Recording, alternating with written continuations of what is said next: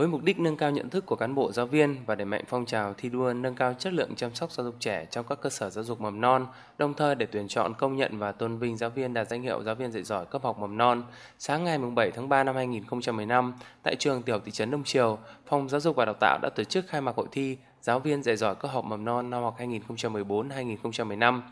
Tham dự hội thi có 351 giáo viên của 28 trường mầm non trên địa bàn huyện.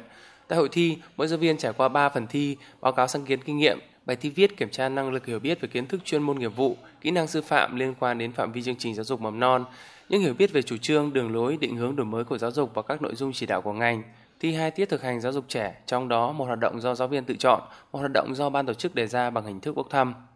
Theo ghi nhận của ban tổ chức hội thi, các giáo viên tham gia hội thi năm nay đã được các trường động viên, tạo điều kiện thuận lợi nên có sự chuẩn bị chú đáo về bài soạn, đồ dùng dạy học,